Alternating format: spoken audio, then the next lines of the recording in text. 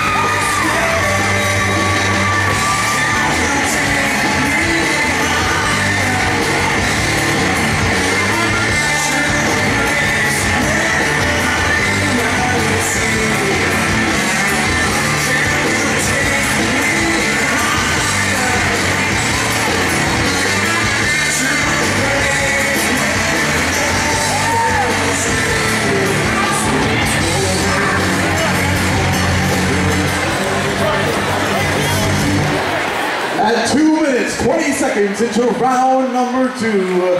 We have a winner. Your winner, ref stoppage due to strikes. Fighting out of the blue